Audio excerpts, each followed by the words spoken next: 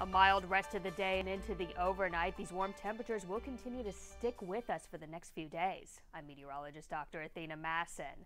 That southerly flow helping to trigger up moisture across the Sunshine State overnight tonight. That's going to be increasing our fog, but that should remain mostly along coastal regions. Gainesville and down to Ocala should remain clear under partly to mostly clear skies.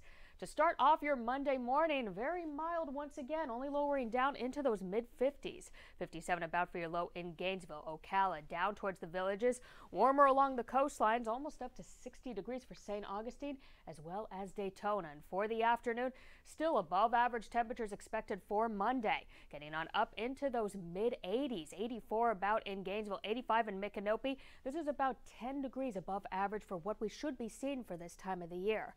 Down in Ocala, 85 degrees, still a little bit warmer in Belleview and in the villages at 86 degrees about for your high temperatures. But for this week, if you were hoping for the rain, we do have a little bit of a chance for it, but it's not going to be until after midweek. For Tuesday, high pressure continues to deliver most of that dry air to the Sunshine State. But this is when we will begin to see this deepening low pressure system out by Kansas and Oklahoma that's going to continue to move eastward.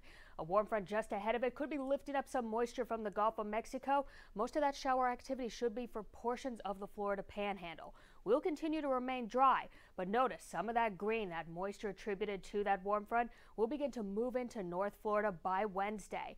This cold front just ahead of this low pressure system should be pushing in sometime on Thursday. At this point looks to be in the afternoon hours and that could help to trigger up our shower chances once again.